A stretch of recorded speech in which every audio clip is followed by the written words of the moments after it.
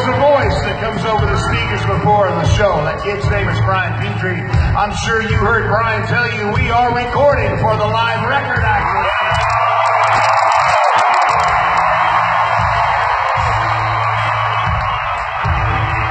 And can I just assure any of you doubters, you guys have been kicking ass all day.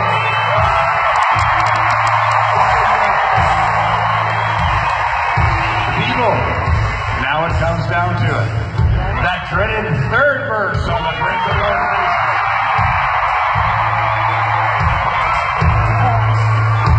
Are you up for it?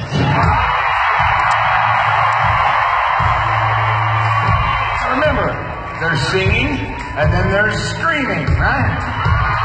We're going to need somewhere up to the very top, okay? I'm going to need everything you got on this one.